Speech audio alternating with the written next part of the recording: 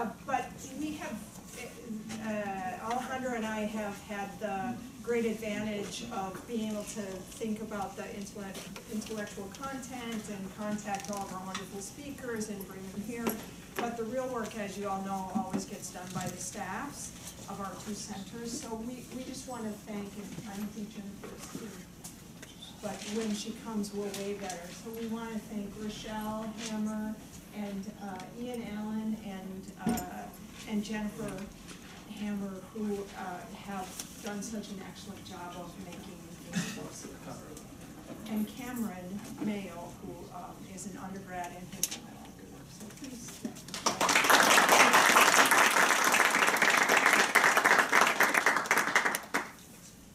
Jim, Am I doing the introduction? you're on, yeah? Oh, okay. I thought it was fun. Um, Oh, I, I'm happy to do it. So, um, our final, uh, panel, the last but not least, as we all like to say, um, is uh, bringing in the humanities into this discussion in a very important way. So, um, I, we have a really all-star panel, which we're very delighted to, uh, present. Um, many of you know, uh, Professor Michal Kobialka, who is in the theater department here. Um, and, uh, he's the author of two books on Thaddeus Kantor's theater, and I think he's going to be discussing Kantor's theater and, and, uh, in his presentation today. Um, I, I knew Michal, Michal mainly as associate dean, um, a, a wonderful, attentive, and, uh, supportive dean in, in terms of the, the kind of themes that we're working on here today, and that interdisciplinarity that's so important to those themes. So, thank you, Michal, for being here. Um, let me go ahead and, and introduce also Rita Kompelmakher, who's a PhD student in the Department of Theater and Dance here at the University of Minnesota. And her research inter- interests are at the intersection of migration studies and performance studies. And she's, um, going to tell us about a very interesting case, um, in, in Belarus. Um, and, uh, our respondent today, uh, is, uh, our colleague and friend Jim Dawes, who joins us from Macalester College, where he's, uh, recently a, a chair in, the guys, the Reader's Digest guys, uh, a chair. The um, Reader's Digest English Department Chair. That's it. In, um, Jim is an English professor, but his work, um, is at the intersection of, um, human rights representation and, uh, and, and he uses texts of, uh, in the field of human rights, uh, including perpetrators' confessions, um, as, uh, as a basis for, for considering, uh, uh, human rights and its ethical implications writ broadly. Um, we have, uh, worked together on, on several occasions on the notion of first-person narration in human rights and, and, uh, representing human rights in, in literary forms.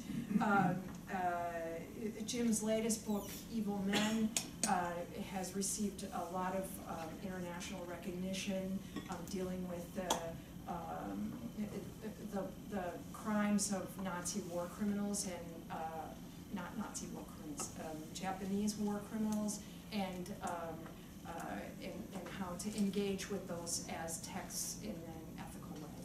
So we're delighted to hear from this final panel, and Michal, I think you were the first up.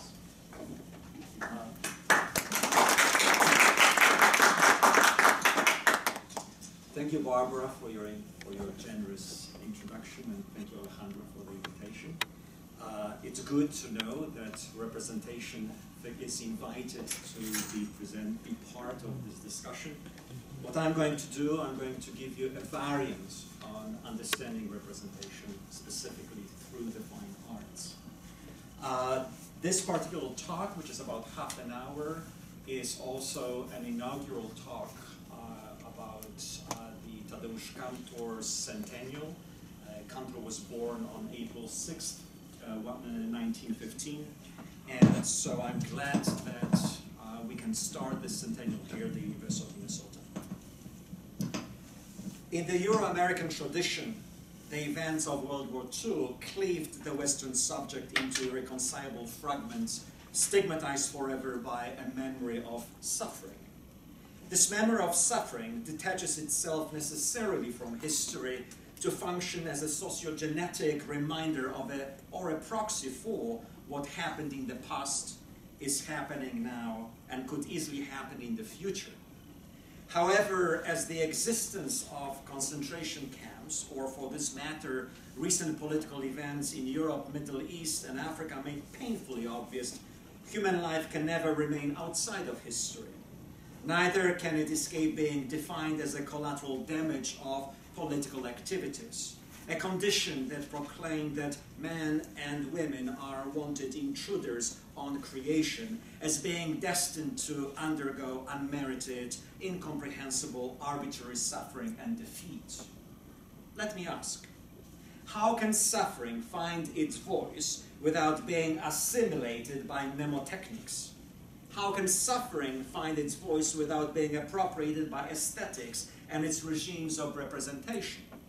How can suffering find its voice so that the victim of suffering is not banished by its spectacle, dispensing us of a need to feel the kind of empathy that reminds us of our responsibilities?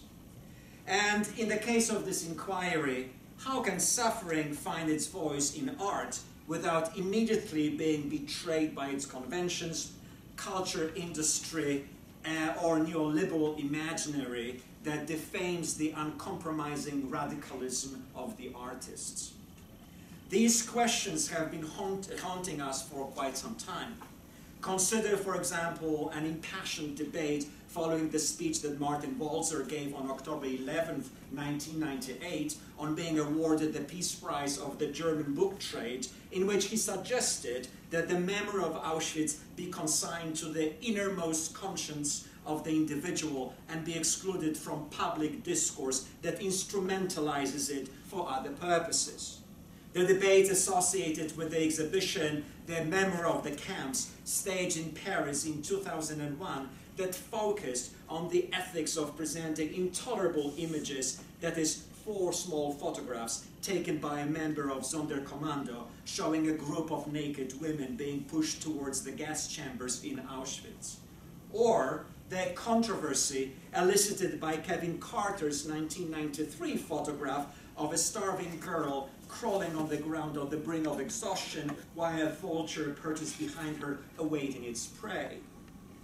Today, the traces of this debate, which is translated now into the debate about suffering as identity or about the construction of the victim as one of the element as one of the elements for grounded in a distribution of the visible in print media space or on stage can be found, for example, in Helena Grehan's performance, ethics and spectatorship in a global age 2009, which draws on the philosophy of Emmanuel Levinas to explore ethical questions she argues audience members face as spectators in a media-saturated landscape, in Nicholas Ridout's Theater and Ethics 2009, which suggests that, quote, theater mm-hmm. greatest ethical potential may be found precisely at the moment when theater abandons ethics.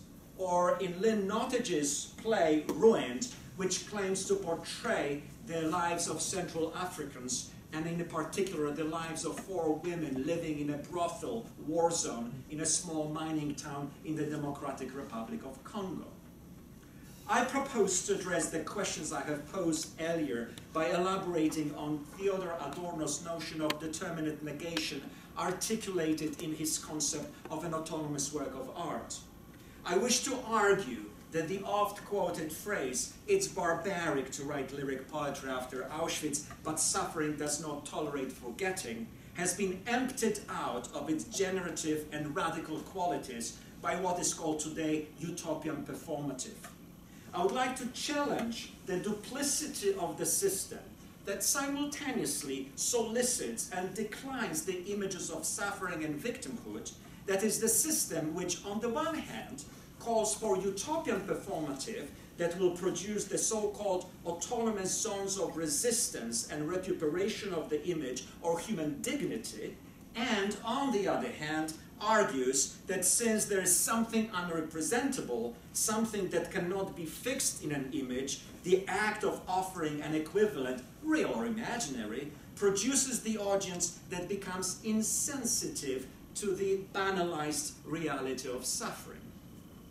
To substantiate these points, I will discuss Tadeusz Kantor's 1944 production of The Return of Odysseus, staged in Krakow when any artistic activity was punished with death by the Nazis.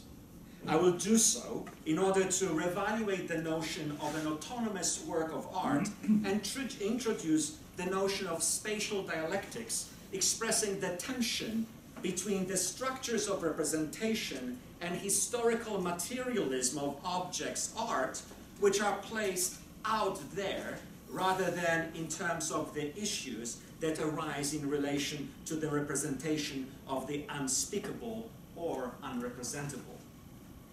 I'm motivated by the kind of a move one finds in, for example, Jacques Rancière, who views the unpresentable as the central category of the ethical turn in aesthetics and political reflections.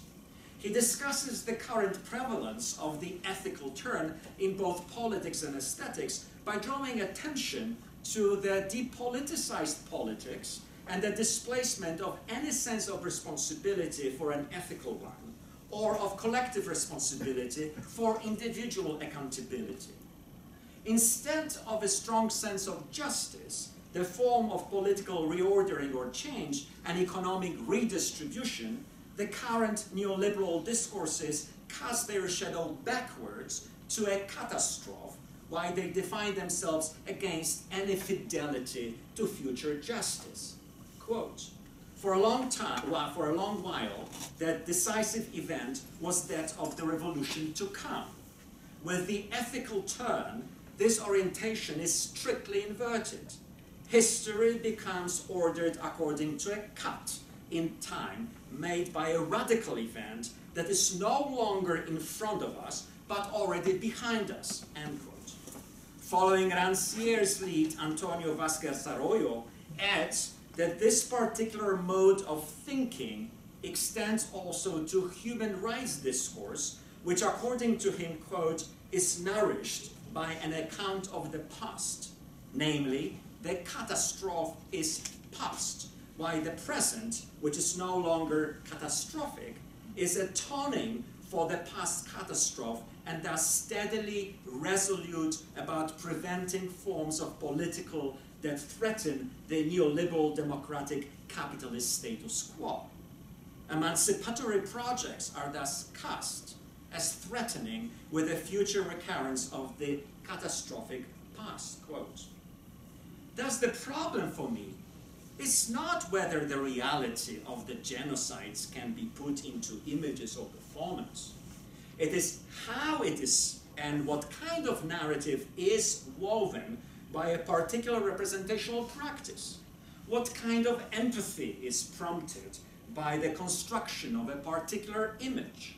What kind of gaze and consideration are created by them?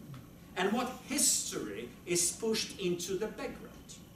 The most common use of the intolerable images or committed drama places them along a linear trajectory from the intolerable spectacle to the awareness of the reality it expresses, to the desire to act in order to change it. But this link between representation, knowledge, and action, as history teaches us, is only a presupposition. Jacques Rancière avers in The Emancipated Spectator, quote, The intolerable image derived its power from the obviousness of theoretical scenarios making it possible to identify its content and from the strength of political movements that translated them into practice. The images of art mm-hmm. do not supply weapons for battles. End quote. In other words, within a predetermined reality, aesthetic convention, or performative practice, freedom or fight for freedom becomes a vacant claim. As Adorno put it in his 1962 essay Commitment, quote, it is not the office of art to spotlight alternatives, but to resist by its form alone the course of the world which permanently puts pistol to men's heads, end quote. At the same time, as he remarks, quote, there is something painful in Schoenberg's compositions. The so-called artistic representation of the sheer physical pain of people beaten to the ground by rifle butts contains, however, remotely the power to elicit enjoyment out of it. When genocide becomes part of cultural heritage in the themes of committed literature, it becomes easier to continue to play along with the culture which gave birth to murder. End quote. These statements, and especially the last sentence, may explain why Adorno, aware of the practice of using art as a kind of proxy, allowing post-war generation not to approach a difficult history, perceived art not as a weapon in class struggle, as did the constructivist Bertolt Brecht or Erwin Piscator in the early decades of the 20th century, but as a mode of cognition. Adorno, for example, rejected any aesthetic potential of socialist realism or committed literature in societies which had thoroughly been integrated by the culture industry, a term Adorno coined. The culture industry, according to him, eliminated art which could be a trial arena for alternatives. What remained was fetishized art that protected society from social revolution and transformation. This is why Adorno called for the atomization of art, the atomization of representation, and the concomitant desubjectivization of artistic language. Quote, the principle that governs autonomous works of art is not the totality of their effects, but their own inherent structure. They are knowledge as non-conceptual objects. This is the source of their greatness. It is something of which they have to persuade men. It is not something they have to persuade men because it should be given to them. When expressed in art, autonomous works of art had to abandon the tradition which defined art in terms of representation affirming life.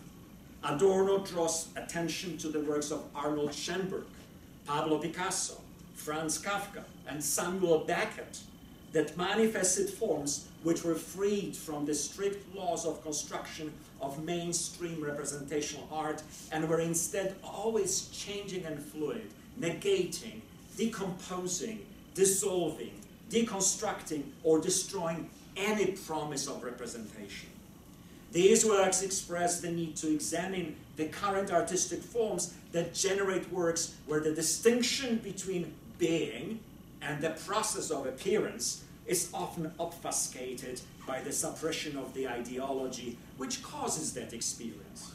That is, quote, where the to and fro of civil conversation replaces institutionalized violence and authoritarianism as well as irreconcilable conflict or promotes the to do-it-yourself approach in politics in order to inspire in the unfree individuals paralyzing their spontaneity the assurance that everything depends on them, end quote. Contemplation of the post-Auschwitz world, according to Adorno, needs to happen in a place where the works of art, by dismantling appearance, explode from, form within the art. The uncompromising radicalism of these works refuses to play along with the culture that gave birth to murder or with a realm where genocide has already become part of the heritage that archives and bears witness to a world avoiding the unresolved contradictions between protest and the discourse about commodity itself. Let me give you an example of an artistic practice that, in my mind, materializes Adorno's concept of the autonomous work of art. In lesson one of the Milano lessons, a Polish visual artist and theater practitioner, Tadeusz Kantor, noted, quote, 1944, Kraków, clandestine theater, the return of Odysseus from the siege of Stalingrad. Abstraction which existed in Poland until the outbreak of World War II disappeared in the period of mass genocide. This is a common phenomenon.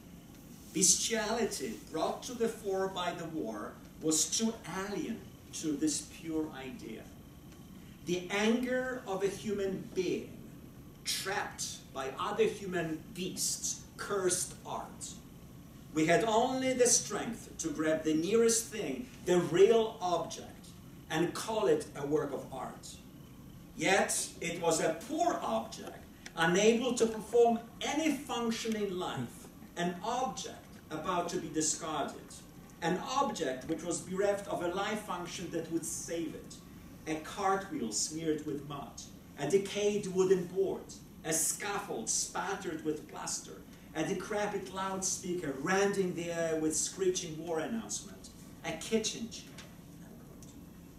The return of Odysseus could not be staged in a traditional theater not only because Kantor perceived traditional theaters as mind deranging, but also, and more important, because such an act would be a betrayal of his nonconformity in the face of the bestiality brought to the fore by the war.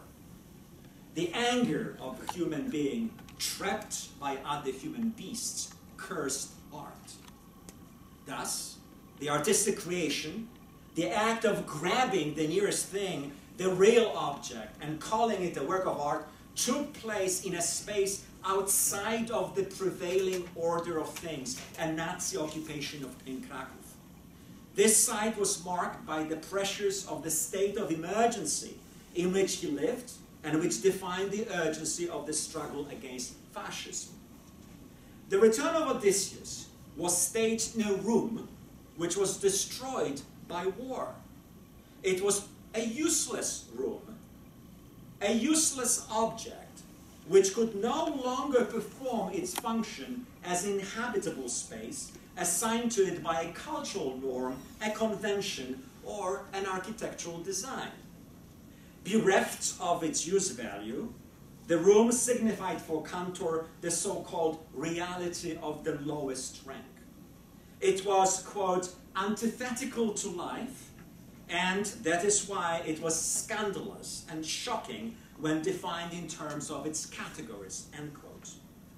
Into this room, the performance brought different objects found in the war zone, a cart, a decayed wooden board, a scaffold, a decrepit loudspeaker, and a kitchen chair. These poor objects, that is, like the room to which they were brought in, functionless, discarded, and useless. They were wrenched from the war reality and placed in a space where the object's objectness could only be established in its relationship to other objects or people in space. Thus, the object's function was not assigned by a convention which had been compromised by the war condition, but by a performative process outside of the conventional normative artistic and aesthetic categories. The object was empty, quote. It had to justify its being to itself rather than to the surroundings which were foreign to it. In the return of Odysseus, Penelope, sitting on a chair, performed the act of being seated as the human act happening for the first time.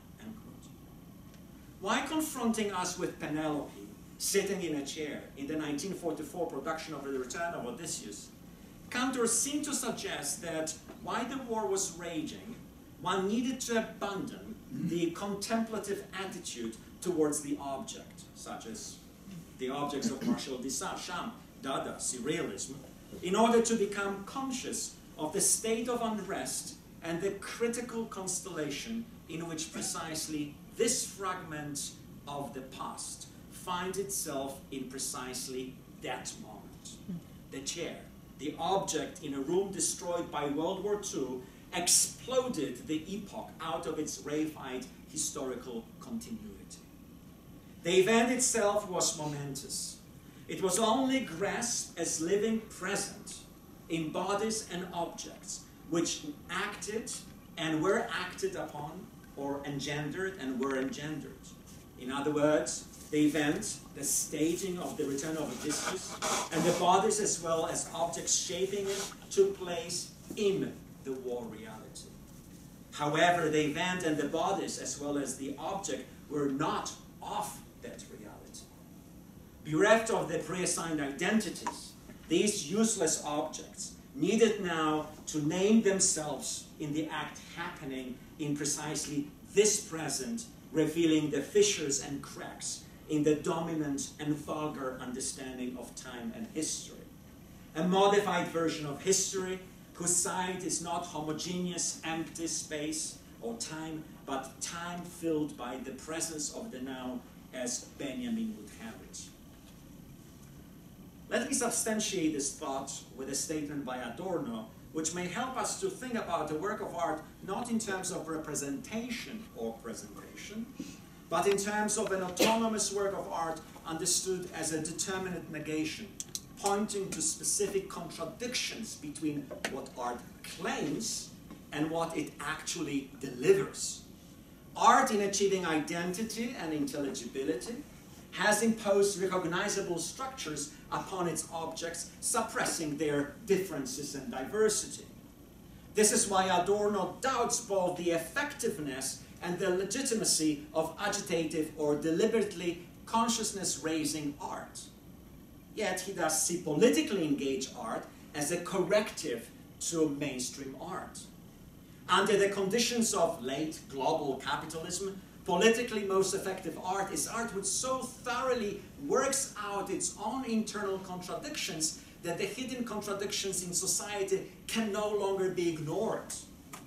Here is Adorno's statement, quote, The critical relation to tradition as the medium of preservation is not only concerned with the past, but also with the quality of aesthetic production in the present.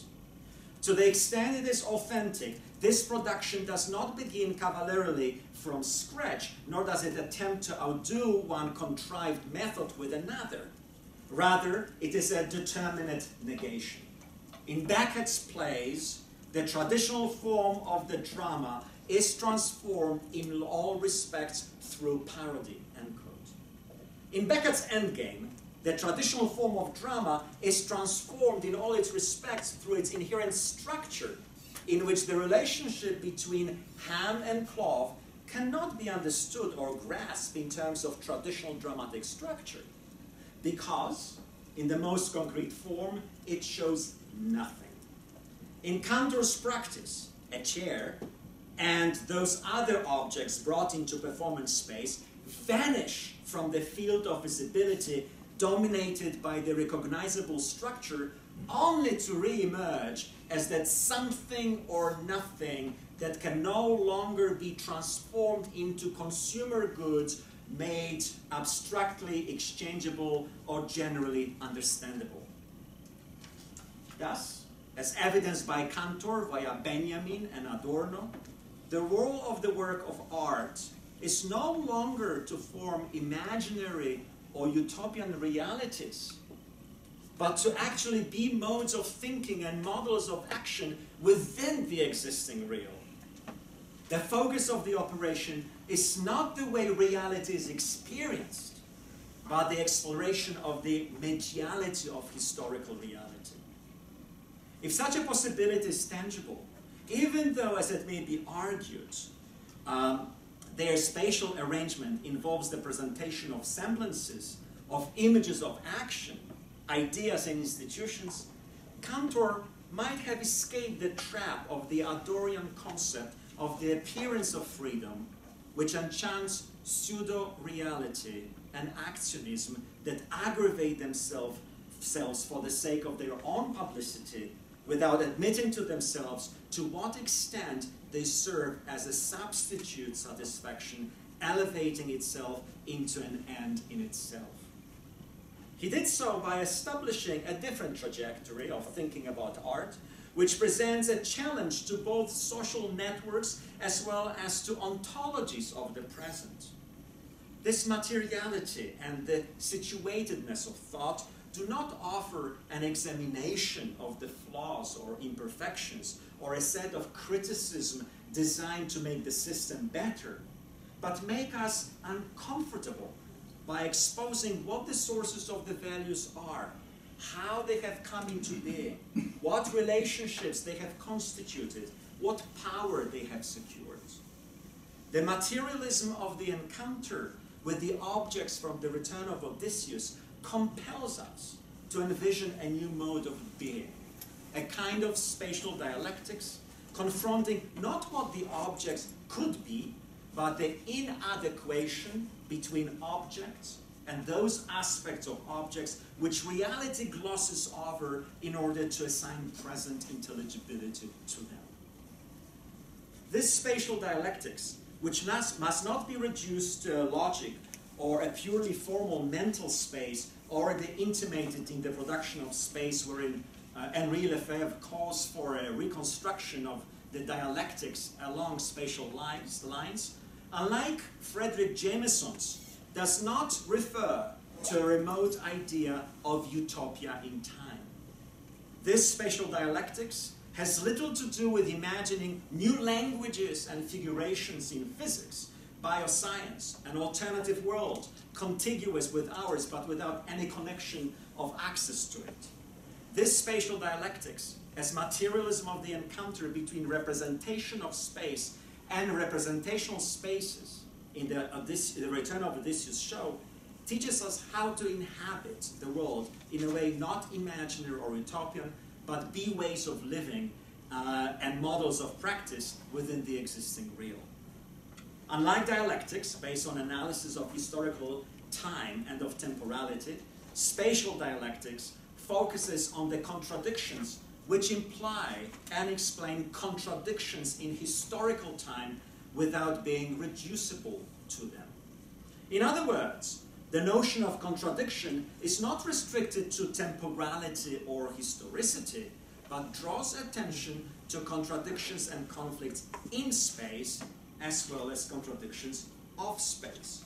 To Penelope sitting on a kitchen chair in the 1944 production of The Return of Odysseus, which can be viewed as examples of social and spatial interstices disclosing other possibilities, differential in character than those in fact within the system.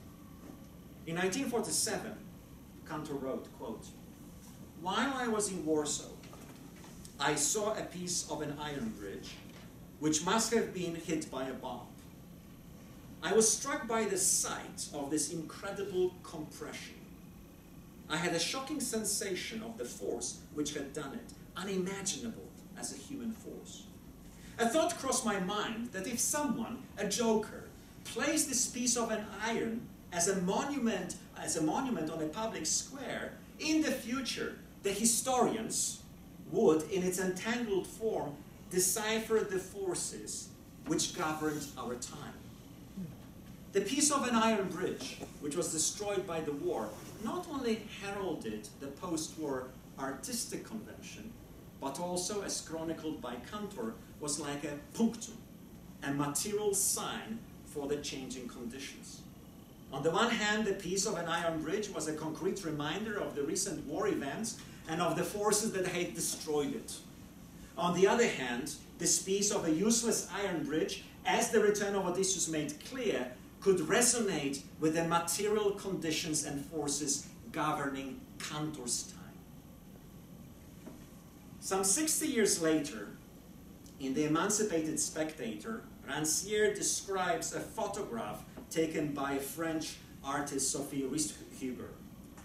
In the photograph, a pile of stones is harmoniously integrated into idyllic landscape of hills covered with olive trees. Like the other photographs in the series, WB, West Bank 2004, it represents Israeli roadblock on a Palestinian road. The emblem of war imprints scars on the territory. For those who wish to engage with it, it unravels contradictions in space and contradictions of space and the forces which governed our time. The image in the state of unrest changes our gaze and the landscape of the possible because it is not anticipated by its meaning and that, that does not anticipate its effects. Thus, to return to the questions posed at the beginning of this essay, the works discussed here are the inscriptions on the unresolved contradictions between the aesthetic promise of the object located in, but being not of, that reality and the realities of oppressions in the world.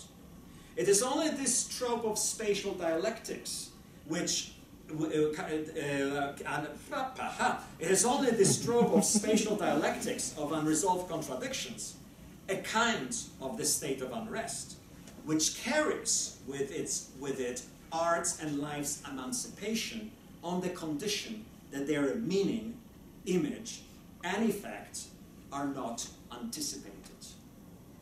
Thank you.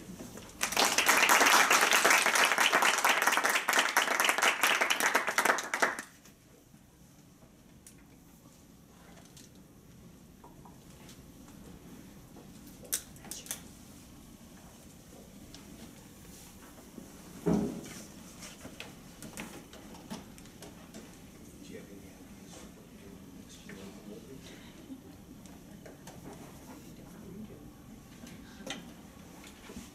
First, Indians.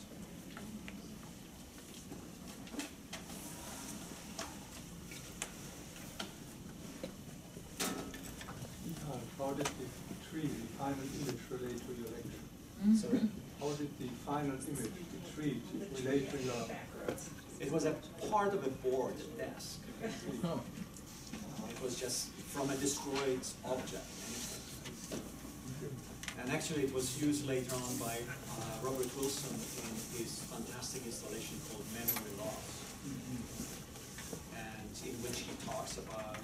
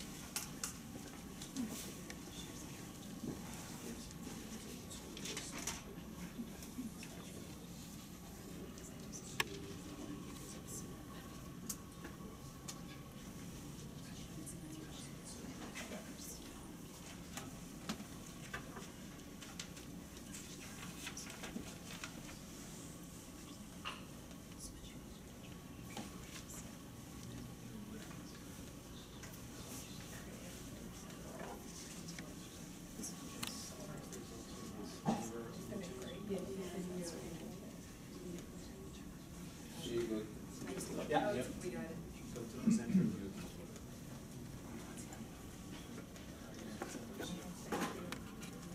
Yeah. Thank you very much, you too. Um, okay, so I'll start, so we don't have too much time.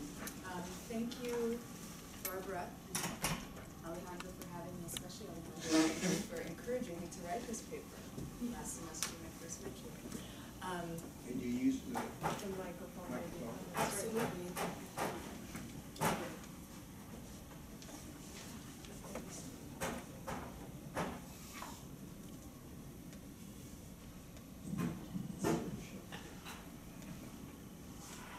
Or should I just speak, try to speak? Yeah. Maybe I'll just try to speak louder. I'm afraid of it. Wait, here.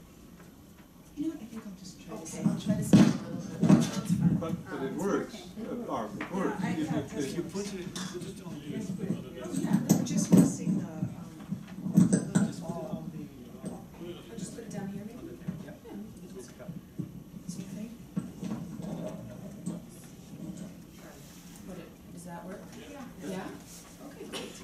Um, so I have somewhat of a kind of strange and privileged position to be the last speaker for this symposium. And privileged in the sense that I got a chance to benefit from all of the conversations happening in the room for the past two days, um, and all the papers that were presented. So I went home last night trying to write a conclusion for my presentation. Instead, I wrote an introduction with um, that was partially a dialogue for me with some of the ideas that have been presented in, in the space. So um, my presentation today is called uh, Universality from the Margins, Performing the Explicit Body in, Bel- in the Belarus Free Theater's Trash Cuisine. And this is part of a larger dissertation project for me on Belarusian theater practice since 1991.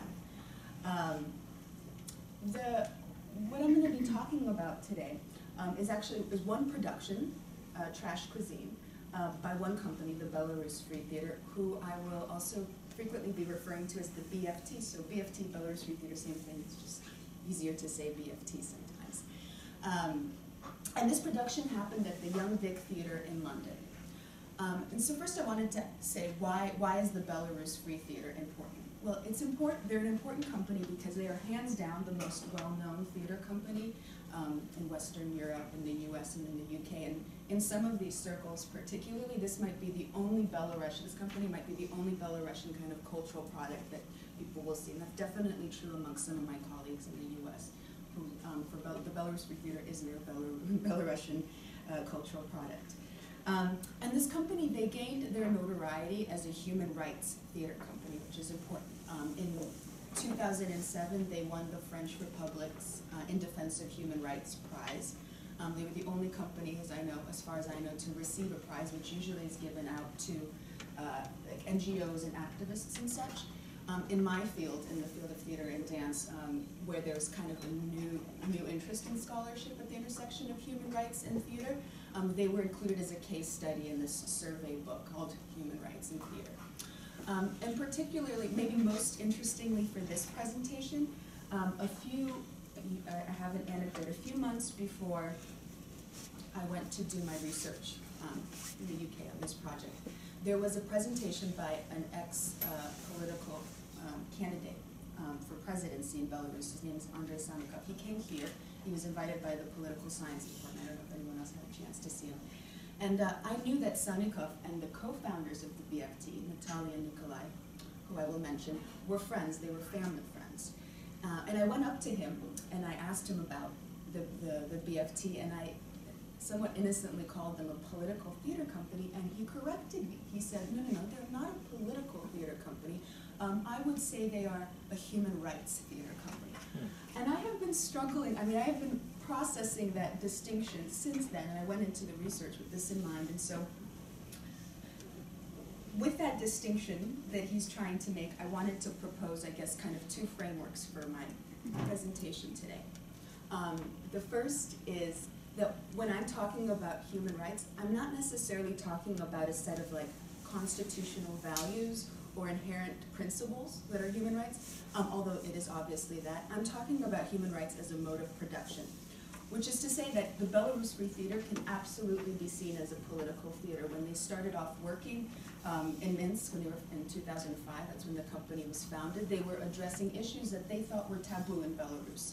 Um, issues like mental health, suicide, um, LGBTQ rights, women's issues, and so forth. Uh, um, and they could also be considered political in the way that they function in Belarus. They are not officially registered as a theater company there, probably because uh, they, the two co-founders are, are really involved in those in the dissident movements um, within the country. Um, and yet they are a human rights company according to Sannikov. And so what I'm, I'm proposing is that this company is made into human rights. And it's made into human rights once it circulates through international instruments of human rights. Things like um, Human Rights Theater Festivals, uh, Human Rights Watch Film Festival, which they are a part of. Um, they are sponsored by Amnesty International um, and Index for, Index for Censorship in the UK. Um, so this is this this is the transaction that I think Sannikov is speaking about, and he's translating a kind of um, something happens when they move into into this different circle. They gain some kind of new symbolic value, and certainly have become this kind of human rights company that is not important just in the sense of Belarus, but really um, included in, like I said, uh, kind of a, it's like the standard company that you think of when you think of as human rights. If you think of human rights. Um, so that's my first point. And the second point that I wanted to make, oh, the second question that I'm asking has to do with the relationship between universality and that question mark um, in my title. And I think this relates a little bit to Alejandro, what you were mentioning yesterday when you were speaking about, in the, in the context of the Holocaust, about potentially the Holocaust becoming, becoming a kind of memory paradigm that others can latch onto. Um, I found that very useful, and I thought maybe to rephrase that thinking in this, for this particular context, and to ask the question, how does the Belarus Free Theater present or perform a kind of human rights paradigm that allows them, A, to latch on to other times and spaces, and you will see this as I go forward, and also allows others to latch on to them, and this will also become a little bit clearer as the presentation. Um, so those are the two points I wanted to bring up as a framing. Um, so trash cuisine. Trash cuisine is a piece that addresses uh, uh, capital punishment and other forms of state-enforced violence. And the company um, is doing this not only by telling the story of Belarus, but putting the story of Belarus in relationship to other uh, capital punishment, uh, state-enforced violence stories um, from different times and places. Argentina, Rwanda, uh, the US and the UK are also included and so forth.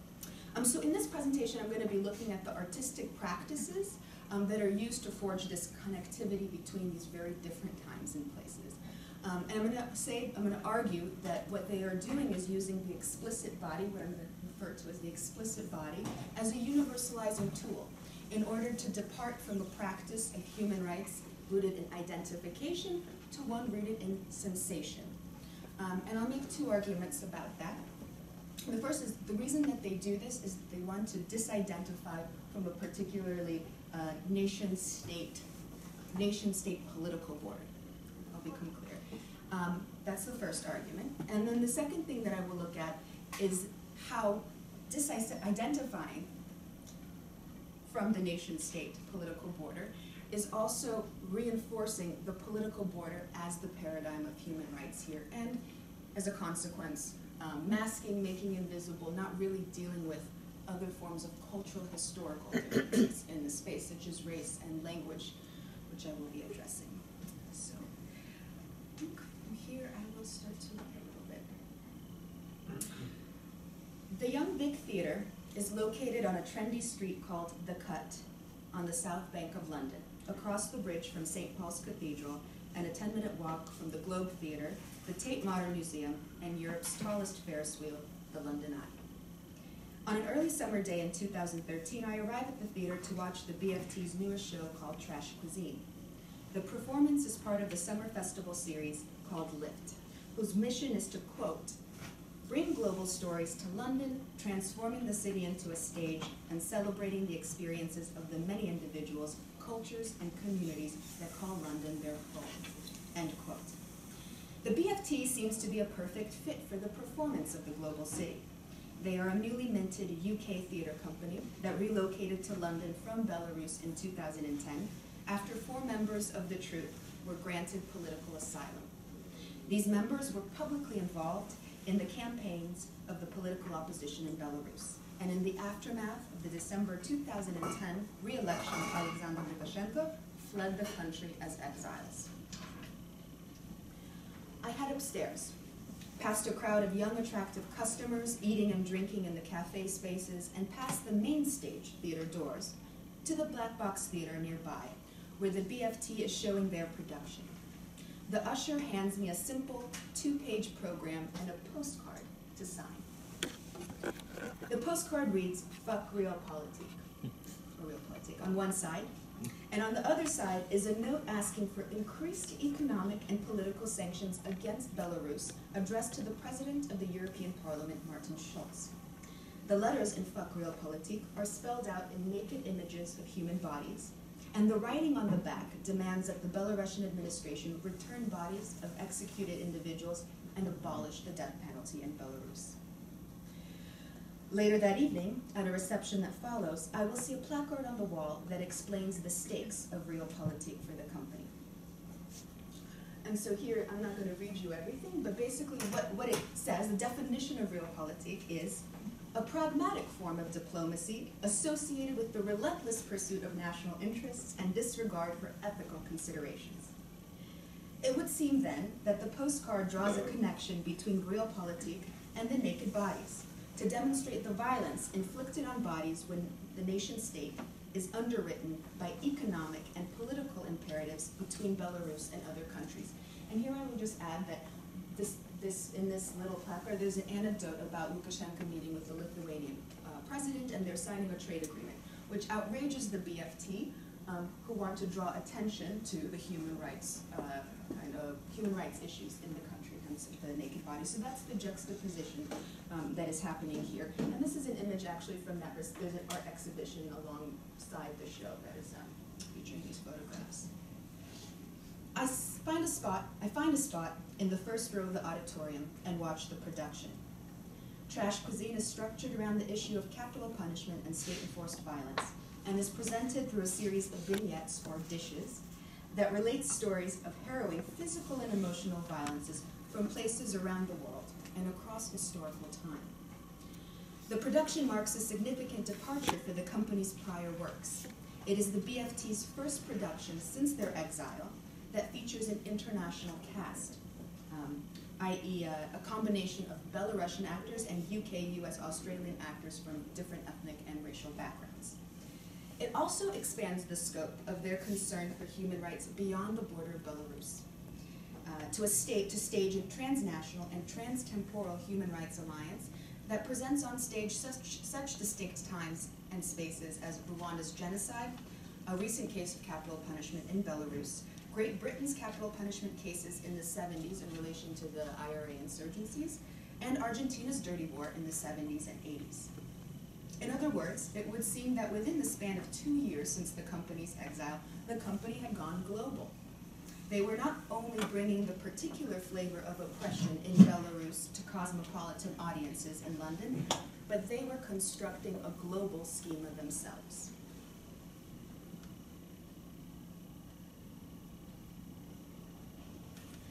I take note of the model of global inclusivity in trash cuisine from an aesthetic standpoint. The production proposes to move across state borders by pointing to the bodily excess or trash disposed of by the state. In the production on stage, as in the postcard image, the body, stripped and naked, becomes the aesthetic site through which human rights connect- connectivity is forged and represented. The body, as material formed through sensations of smell, sound, taste, and touch, is intended to exceed forms of signification and identification associated with the nation state. For example, um, in a scene about the Rwanda genocide, an actress balances on a plank while another actor cooks uh, red meat on an active stove nearby. And the burning meat smells up the auditorium, and the actress is like physically in real strain because she's holding a position. Uh, she's holding that position for I don't know, like the whole scene, maybe ten minutes, uh, maybe five minutes actually. Um, and so it's repulsive and straining, but not in an illustrative fashion, right? In general, the food and the bodies in the piece are less symbolic in function and far more sensorial.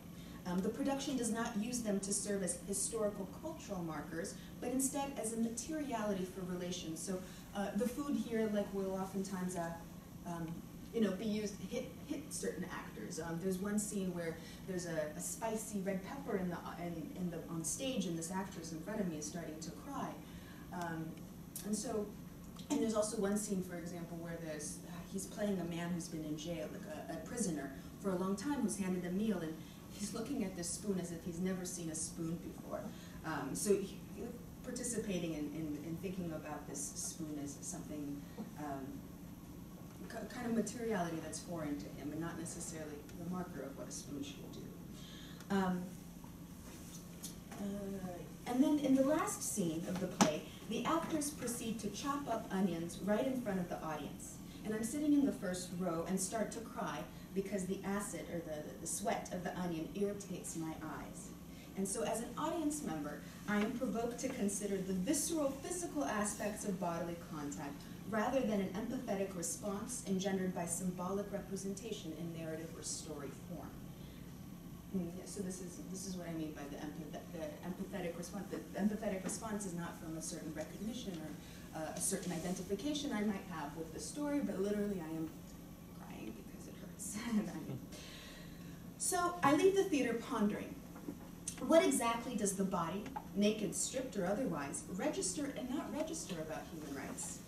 what is at stake in this mode of universality for the BFT?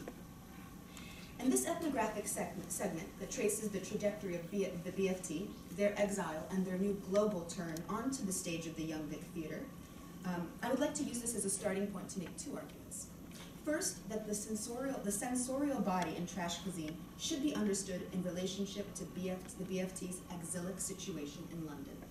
The BFT staging of the explicit body is intended to produce a dis- disidentification with the political border of the nation state, and thus with the discursive incarceration of the BFT as a marginal company from the fringe of Europe, only allowed to speak to, op- to um, political oppression in Belarus. And as described in the postcard, this nation state border is also one that compartmentalizes national politics rather than addresses transnational contingencies. And so the second point that I would like to make is I would like to argue that there is also a very important limit to the use of such a body as a universal human rights imaginary in trash cuisine. And by framing the universal in terms of state enforced violence, in other words, that what they are transcending is essentially a political border of difference that is specific to governments and regimes, this body ultimately masks and averts, averts attention from other forms of social relations between bodies that are historically and culturally produced. The day after I saw the production, the co-founders of the BFT, Nikolai and Natalia, told me during an interview that Trash Cuisine had received a one-star review from a, from a, a newspaper called City AM. And City AM is an almost tabloidish newspaper, they say, but it's still widely read during morning commutes in London. Natalia mentions that the review ends with the line, now go away, and that it is, quote, this is her saying, not quite racism, but that everywhere in the review it mentions work on your Belarus, end quote. The duo continues to describe their main hardship working in the UK as one where they are commanded to perform only Belarusian subject matter. And Nikolai adds, quote, UK theater can do can work on any UK theater can work on any topic, but for Belarusians, only their topic. End quote. And Natalia expresses her concern that audiences in the UK do not even let the company touch Shakespeare. They use Shakespeare in trash cuisine, but it's not so important. Um, these critiques register the way that the BFT has become discursively incarcerated within the particular of Belarus, while the theaters at the center of Europe are free to appropriate any material they like around the globe. And trash cuisine, and from this perspective, should be understood as a desire for universality by disassociating from the very identity that had catapulted the company to inter international fame in the first place. Um, this identity has also commanded them to perform the marginal position within the global city, even as they are under understandably hesitant to call their particular form of discrimination racism. Um, and I should also add here that the Belarus Free Theaters, the, the, the, the Belarus Free Theater is how they are known abroad. In Belarus, they are called just the Free Theater, so that national uh, marker is, is not, not, not part of the, the game in, within Belarus itself. Um, so under, in other words, what is being underscored here is actually a paradox of the body in human rights practice. Um, the body as a marker of an oppositional national identity is both necessary for the company to make human rights claims and to mobilize resources, and yet it, is also, it also forms a structure of belonging through which anti-immigration sentiments arise by virtue of an inclusion-exclusion dynamic. And here just wanted to mention uh, briefly uh, in relation to some of the conversations uh, yesterday, where uh, Lars, Lars particularly was talking about the moral, the victim, victim status, and how that has become a kind of moral surplus. There's a currency to it, and I think here what what I'm trying to point to is actually also the costs of the victim status. In other words, this company, certainly mobilized by by being a kind of victim and presenting political violence stories of Belarus, and they get a certain traction from it. But here we also see that the, the, the kind of the other move of it is that they are actually not able to really ever be universal, ever be really the global, um, and in turn from an aesthetic, artistic standpoint, they don't get to be the world-class artists they want to be. They get to be, they're only the human rights kind of marginal artists. And this is what concerns them a lot. And that can be one way of thinking about the costs the human rights paradigm here. And so this is where the explicit body enters. And I want to just briefly say that I'm using a term in my field in performance studies coined by a woman named Rebecca Schneider to talk about the explicit body. And for her, the explicit body is about the unpeeling or um, revealing of the process of signification. So not necessarily that one would get to an original, essential kind of humanness in the body, but actually that one reveals that kind of the sedimentation of, of signification or identity itself. So I find it obviously useful here, although she writes about a very different context. So um, in trash cuisine, the explication of the body is essentially a stripping of political signification within the nation state in order to resonate on the level of universality. The explicit body appeals to a supranational, supranational, or transnational alliance of mere human bodies that are violated by the state. For example, in one scene where Pavel, he's a Belarusian white male, and Esther, a black English woman, dance the tango together about Argentina's genocide, it's difficult to read their dance through the lens of national character. Their bodies do not represent Argentina, and they do not even dance the tango well. Hmm. This segment is not intended to provide, the segment is not intended to provide knowledge of Argentina, but to wrench it from a national identity. Specifically, the writing of the nation state here in this par in this, in this performance um, is important only to the extent that it presents a fa facade um, that covers up the performance that matters most, the dancing, sensing bodies being exterminated.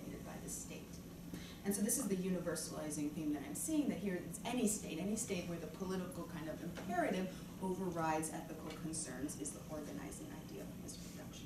So Esther and Pavel remind us of the bodies and not about Argentina. The explicit body then becomes the site of the human rights claim, which constitutes the ethical need to think and act transnationally in the face of a real politique that uses the nation state as a container of knowledge to separate different times and spaces instead of pointing to their contingencies. And yet, it seems imperative to ask, who has the right to author the explicit body and representation? And more to the point, who determines the explication of the body, who and what it means, or what and how it means? After Natalia and Nikolai described to me their anger with the City AM review and the anti-immigration sentiments that it fueled, I asked them another question. Why did they choose to stage global stories, and how did they imagine they related to places such as Rwanda and Argentina? And Natalia answers me by describing a phone call she had that morning with a theater troupe from Palestine that was interested in knowing more about how the BFT achieved international visibility for their political struggle. And Natalia ends the anecdote by saying, quote, in our situation, it's simple. We are the same as them, end quote. And I want to be clear here when she says we are the same as them. I'm also, I had also just proposed to her, I told her that, um, you know, I, I would imagine that a UK theater company would have to tread, tread very carefully around kind of like a global human rights kind of represent, representational practice, considering a colonial history where, you know, so-called universal values quite oppressive for certain peoples. Um, so when she says we are the same as them, she's actually saying no, we are. I am. We are not like a mainstream UK company. Um, what what is what she means then when she says um, when she says this is that both the Palestinian Theater Company and the BFT are looking for visibility in the international sphere in order to draw attention to their political struggle, and so therefore the sameness that she refers to underscores an imaginary link between Belarus and Palestine that is essentially really about a shared character of resistance against state violence. Doesn't matter if we're talking about Lukashenko or we're talking about the Israeli state. And also what authorizes the BFT to stage these global stories, rather than, let's say, this mainstream UK theater company, hypothetical, is that they too participate in the struggle against state violence. In other words, they have struggle credentials that they can point to. But what the call of sameness and its staging through the explicit body masks are forms of bodily signification and meaning not reducible to political opposition. In foregrounding political violence, one of the social relations never engaged in the production is that of racial difference, as Pavel and Esther from that tango sequence dance in supposed sameness. Um, so the production stages, you can see this, uh, a post-racial imaginary. As such, the paradigm of the nation state is actually reinforced as the dominant paradigm of human rights practice in this production. The cosmopolitan audience that screens the play never needs to confront bodily relations of identity, not about political opposition or state violence. The production renders cultural historical specificity unimportant in favor of acknowledging a political difference in government structures. And importantly, for the BFT itself, even this cultural, historical difference of the nation of Belarus, not the state of Belarus, is not transcendable through the explicit body. What becomes quite noticeable throughout trash cuisine is that the bodies that speak on stage are those of the non-Belarusian actors for whom English is a native language. And on stage, the Belarusian actors are completely mute, not a single word. So as it turns out, going global is only for those that have access to the legitimate universal language in the space of the Young Vic, which is English. Um, and here I just want to briefly mention a moment where offstage, and I don't write about this, Oleg, who's the oldest of the, the Belarus Free Theater actors, speaks no English. He's trying to get a, a glass of wine from the wait, British waitress, and he has no way of communicating to, to her, and so he starts to do this very strange clown buffoonery act where he's like, da da da da da. And I'm standing next to him, and I'm thinking to myself, wow, um, there's a real kind of a, a real kind of disjuncture between what is, you know, the kind of universal, the utopianism of the stage, and then what happens in terms of who really has access and mobility in, in, in London um, stage. So I think, do I, should I copy? I think that, um, yeah, I think I'll end here. I had some questions that I wanted to pose, but I think that, I think that James probably hung up.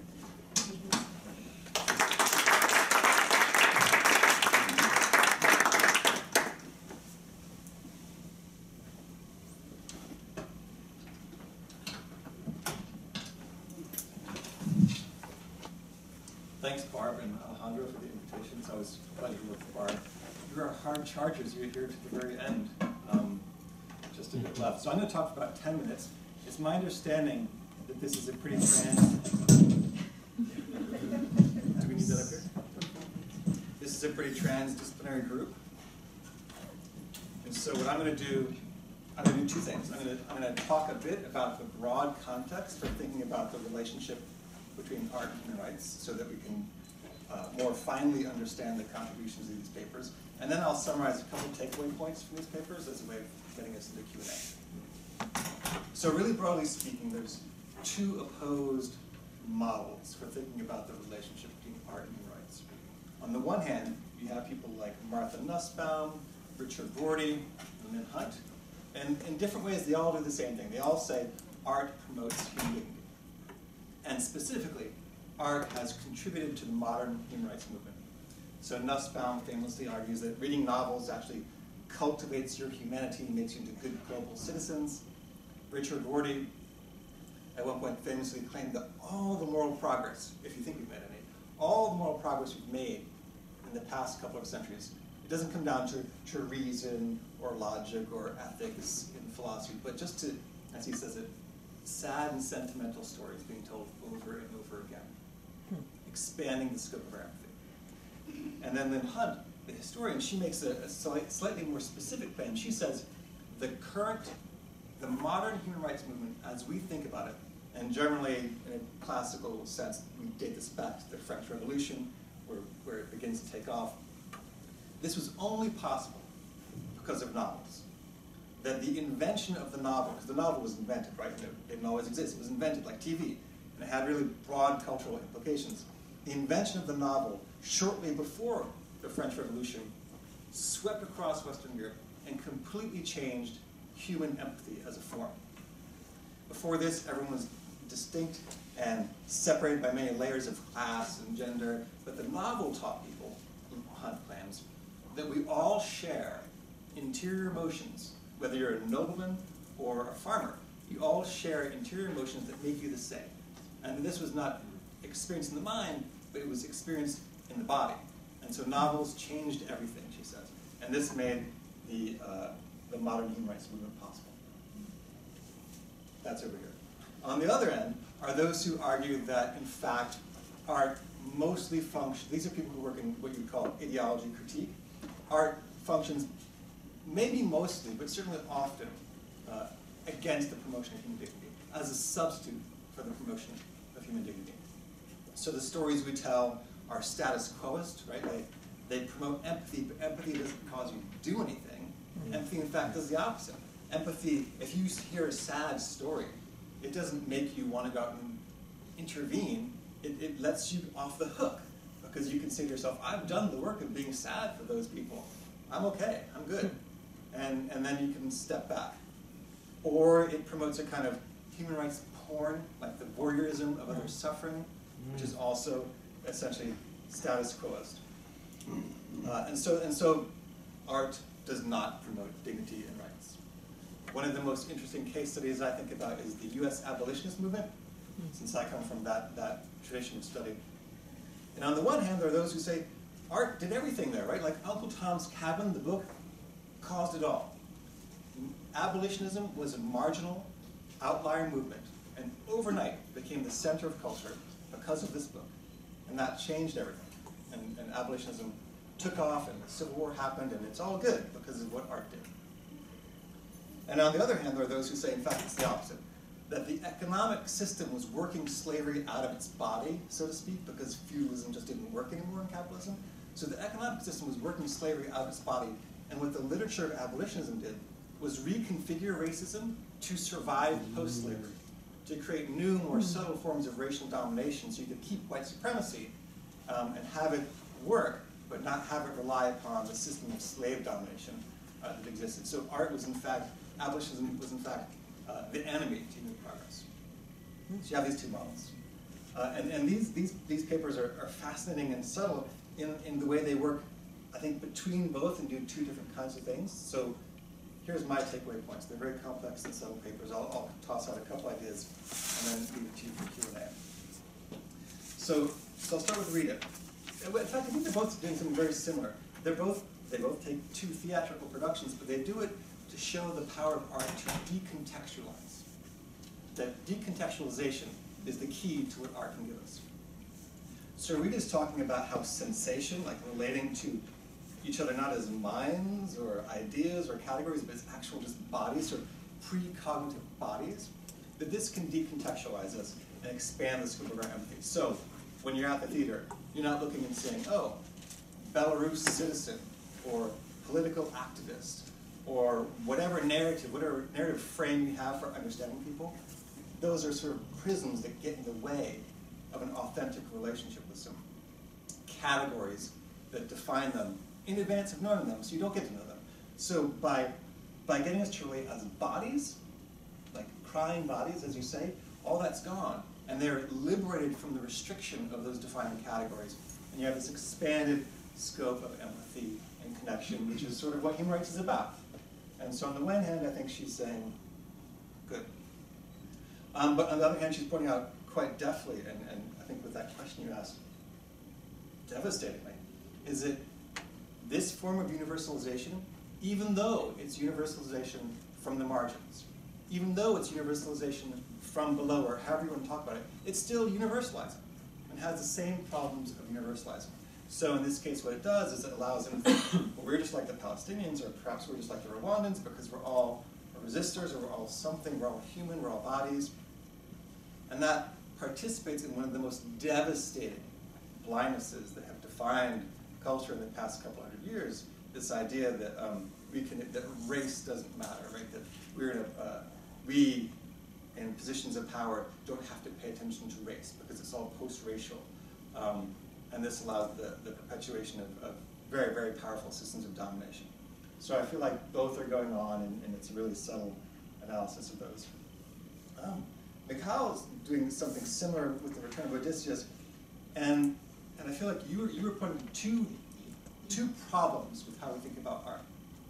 On the one hand, there's art that is future-looking, that's sort of revolutionary. You use the phrase a performative utopia, I think art that, that sort of promises if we can get into this space of imagining this utopia, we're going to get to a better place. And art can do this. Art can participate in this. And that's a kind of false promise. It's a, it, it, it becomes a substitute for, an act, for action because it enchants you with this possibility that is never going to be, and, and it fails. On the other hand, there's sort of backward-looking stuff, and human rights was the uh, narrative to define this that looks to the past catastrophe, things that have happened that we're going to redress and address. And that's a problem because it is also status quo. So it doesn't ask us to change anything. It just says, let's fix the past, make the system just tolerable enough so that you can keep going. So that no change, no revolutionary change is required. And so whether you look forward or backward, we have the same problem. No change is possible. in a world where we drastically need change. And so what, what he was doing with the Return of Odysseus, I think, is, is showing decontextualization as a power, but this time decontextualizing objects. So, I mean, something as simple as a table or a chair, right? Tables and chairs are like humans and actors. We relate to them through all kinds of categories of prisms of perception. So a table is an IKEA table, and that comes with all kinds of assumptions and understandings of yourself as like a global shopper or a consumer, and that's a, that's a role that defines how you act in the world.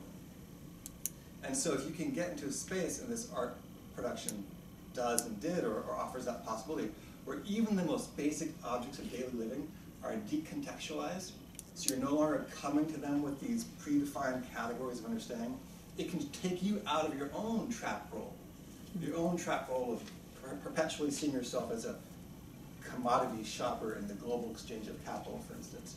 And in that way, open up possibility for some kind of change, um, some kind of mode of thinking change.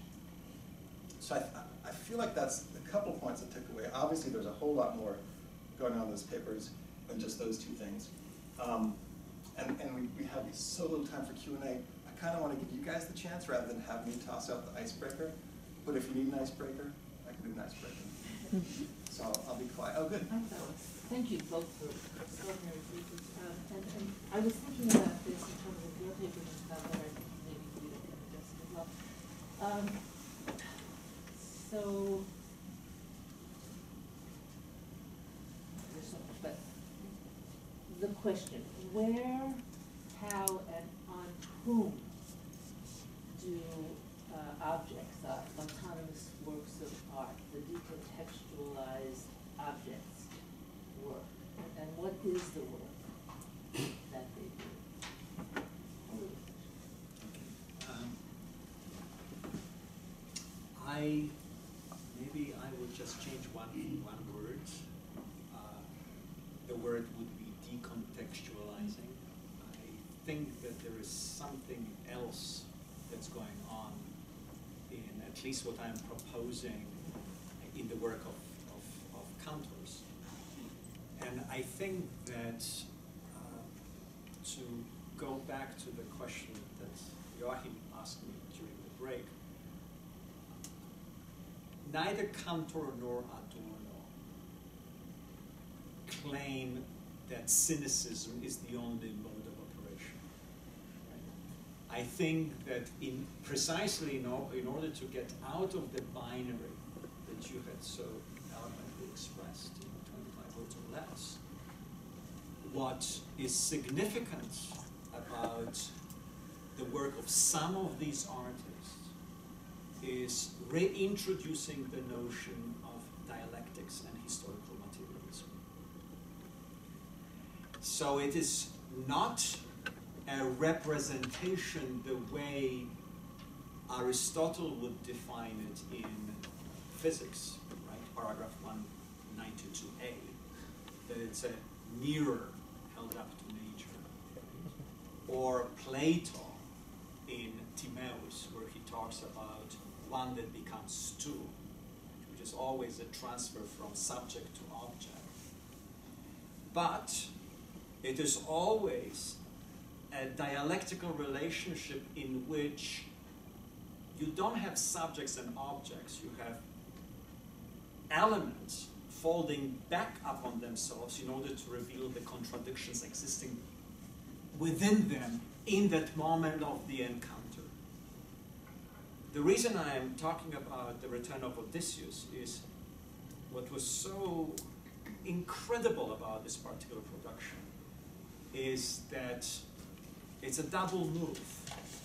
The Return of Odysseus is not staged in a theater building, right? And Odysseus, the stage of, of, the Return of Odysseus is staged in a place where any artistic activity is punished by the act of death by the Nazis. So, as Adorno says in Commitment, this is an uncompromising, radical move that refuses to play along with the situation that to a certain extent accepts one way or the other the idea of genocide or the idea of convention. So Kantor uses something to go back that already is a damp, it's garbage. It's a, something that is destroyed by reality, a room. Not a theater, which operates according to certain conventions, but something that had been destroyed by that very civilization. Right? Whether the Nazis or not, it doesn't matter. It's still destroyed by our civilization. Right? So in this useless room, there is a moment precisely of disclosing the contradictions that exist when you bring into that space the objects which are basically also useless. About human body vis-a-vis Nazis and concentration camps. I mean, Auschwitz is what, 40 kilometers away from Krakow, right? Or less? Huh? And so you bring that human and you bring also that object, both of which are defined by various different conventions, gender, race, etc., etc. So in that way, it's not necessarily decontextualizing only, but there is a double move that's taking place, and that is they all establish their identity in the process of the relationship within that space that is no longer at this moment useful. So as he says, when Penelope is sitting on a kitchen chair, the act of being seated is happening as if for the first time. But it's also Penelope, the return of Odysseus, and there's, that stuff is absolutely lame. Correct, except that for him, that return of Odysseus, who is the person who is coming, he says, you know, in one of the essays, he says, I couldn't stage the play by Wyspiański, a Polish, you know, modernist playwright. You know, for him, the Odysseus is the, is the German soldier coming from the siege of Stalingrad. And so what happens, it's, it's, it's this, this moment of confrontation of various different elements. And, you know, so how do you disclose precisely that folding back upon itself of the, of the element? So what I'm proposing, just to finish, is what intrigues me is precisely this, this notion that, you know, Adorno places in front of us, and that is determinate negation, right? Which, in the moment of the encounter, you have what Adorno calls an inadequation between what the object is in terms of defined by society, by a group, right? And what had been erased, eradicated from its view by, in order for it to maintain, uh, have certain intelligibility. And for me, this is an extremely uh, passionate way of addressing that binary that you're talking about. Because otherwise, once again, I mean, you know, is, there is not much, right, but cynicism.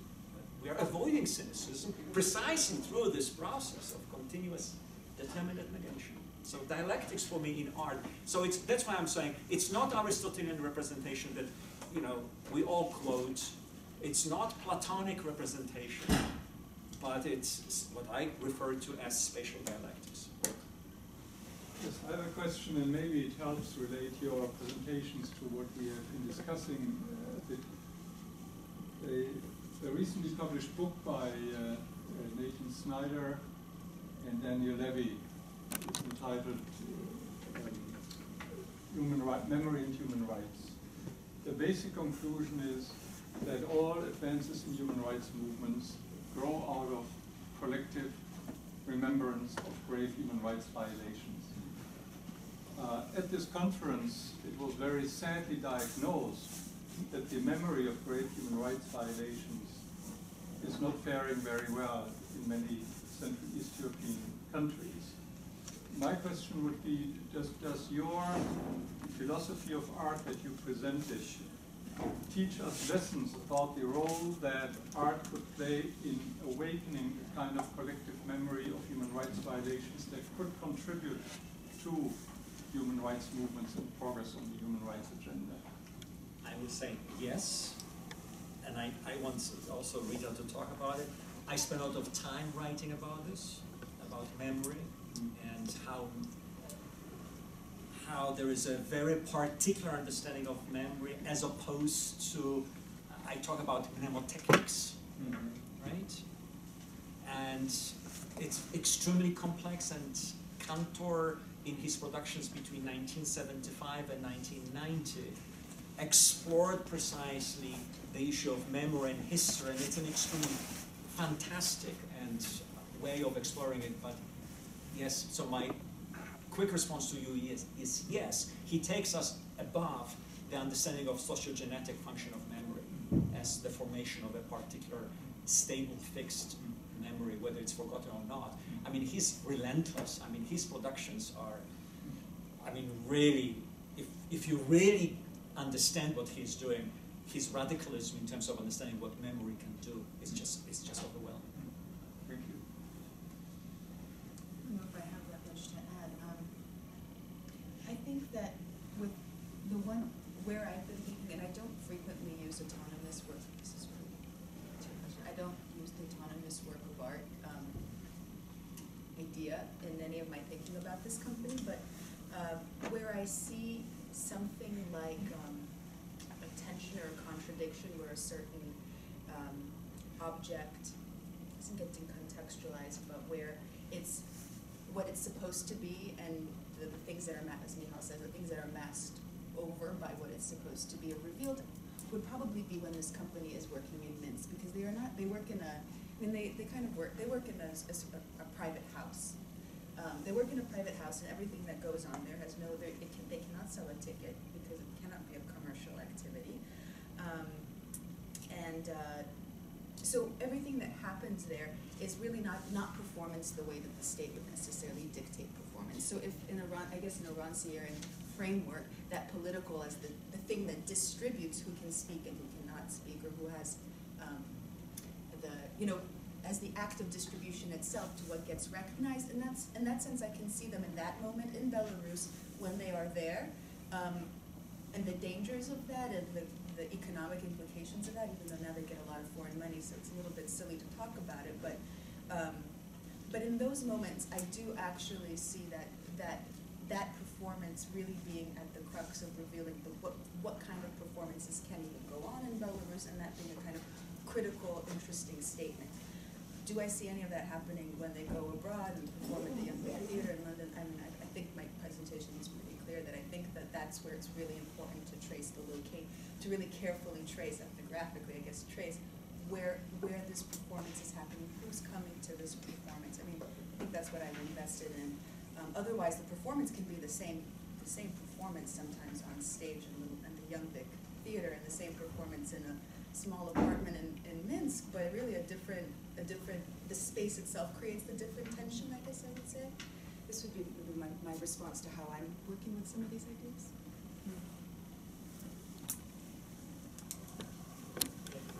Thank you for this uh, very interesting, fascinating presentation, and also Jim for framing them, and, uh, providing us uh, insight on how to, how to look at art and human rights uh, with this, uh, with the input that we received from, from uh, Michal and Rita. My question is, uh, I I found one of your quotes, uh, Michal, quite fascinating and powerful which is from uh, Vázquez Arroyo, uh, which says that human rights, basically, if I understood it well, that human rights discourse somehow cuts ag- against the grain of any emancipatory project, uh, because those emancipatory projects are somehow, there's a, s- are threatened by the repetition of a catastrophic past. So somehow that, uh, there we have that any political art actually, uh, so maybe that connects to what, to the distinction between a political art and a human rights art. I wanted to, to, to know your, your thoughts on that also, also the three of you. Yeah. Whether it's also a matter of context. No? Where, where is that art placed? Because we've heard a lot in this, in this uh, conference about the problem of you know, the ethnification, yeah, the nationalism in Eastern Europe. So in that sense, the human rights discourse uh, would, uh, would actually illuminate and, and help towards the, the, the dissolution of ethnic boundaries. On the other hand, the way you present it, and that, precisely that productions in Western Europe is dissolving the very uh, political nature of each of these conflicts which we need to understand in order to have a position. So, I, I, I- I don't know where to place myself in that tension, and I, I want to, yeah, I want to hear more. I think you name it very correctly, it's a tension that exists.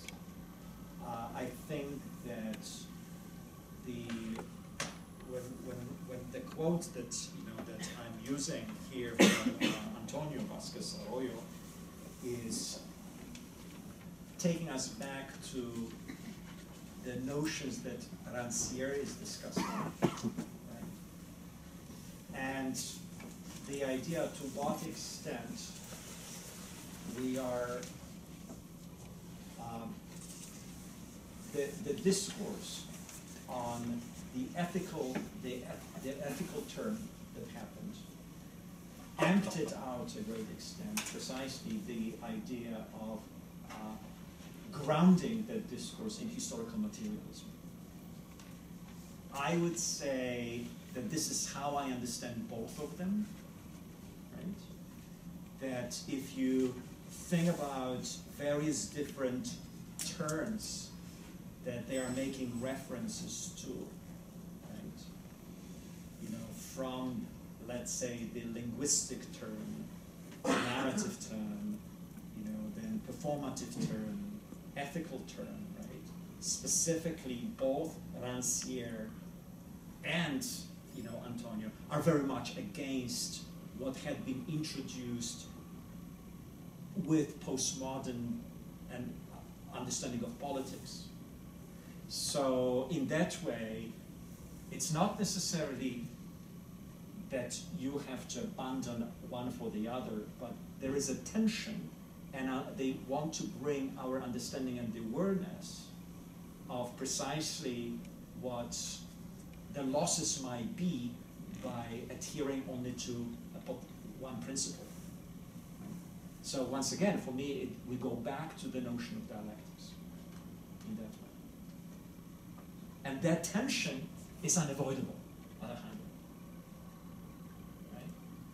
I mean, if you mention, in, you know, for example, the rise of nationalism, you know, in uh, what's referred to now Central European countries, I can talk about the rise of nationalism in Poland, and I think that you can address that question eloquently too, uh, is just becoming overwhelming, right? And that rise of nationalism to a great extent is, for me, very much connected with form of politics that was initiated in the 1980s. Right? I mean, I just recently written a paper that deals, you know, this fantastic moment in Polish history between more or less 1983 and 1980s and, and 1987 or 1988.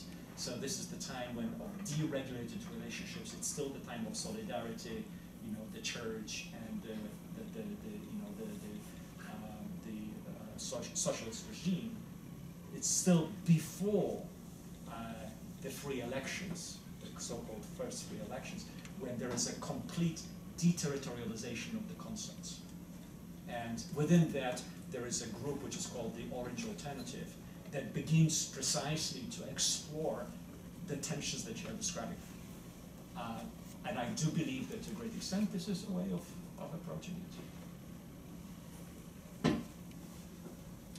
I, um, I was thinking about one thing when I was writing the paper that sort of relates to what you're saying. Um, in our conversations yesterday, I had the impression, and it was very interesting for me to learn that I, that kind of the the mainstream current conversation in human rights actually tends to be a little bit more rooted in ethnic-based genocides versus what I'm kind of exploring in my paper, which is very much maybe actually a kind of old school specter of the Cold War um, notion, rooting much more in kind of political regimes and the conflict, you know, freedom of speech and things like that. And I don't know, I, I, I was thinking about this a lot when I was, yes, yesterday when I was writing the introduction, I was inspired by Professor Hugo, your, your great anecdote the other, like two days ago where you were talking about the communist, the Canadian, the archive of the Canadian communists, how they weren't able to necessarily process Jewish suffering, but political treason, no problem. Right, so, uh, and I, I felt like I was actually rehearsing this a little bit in my piece, that, that kind of, that that kind of paradigm or that mode. And so in this way, I'm thinking to what extent maybe even Belarus is a kind of unique case in that I don't, you know, when the, the, the company, and I don't, the company never really deals very much, when they deal with ethnic, racial, or uh, ethno-national divides, they, it's, it's very light and it's almost always in this kind of like a fake sense of creating a diversity or multicultural feeling, like a, a civil, like a, like a Western civil, civil society sort of feeling, like a imposing notions of the liberal democracy that they would like to see, um, actuated in Belarus, rather than necessarily, I think, really engaging with a kind of different, different mode about thinking about rights in that space. So it actually, I think Belarus is a very unique space in that from what I've seen, and obviously I haven't seen everything, but with the Belarus Free Theater, I actually see a kind of different, and it's interesting, because they are so almost old school Cold War-like, you know, kind of dated notion of human rights, it's interesting to think why they are so famous. And they really are, and I can, I really can fight for this, I think they are maybe the most well-known human rights theater company right now. You know, when you search Google, in the English-speaking world, you know, when you Google and stuff. So that's an interesting thing to think about, and maybe that is also a tension here with what you're, with, with what we're bringing up in terms of different even models of, of human rights imaginaries.